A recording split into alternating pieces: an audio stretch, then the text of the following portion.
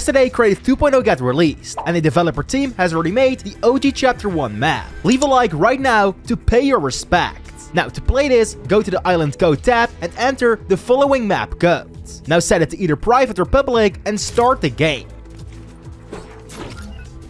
where after launching, you will spawn inside of the OG Battle Bus. By the way, the cinematic was so cool, and as you can see, you will now be able to play the OG Fortnite map, drop any OG location. And by the way, this is actually the Chapter 1 Season 3 map.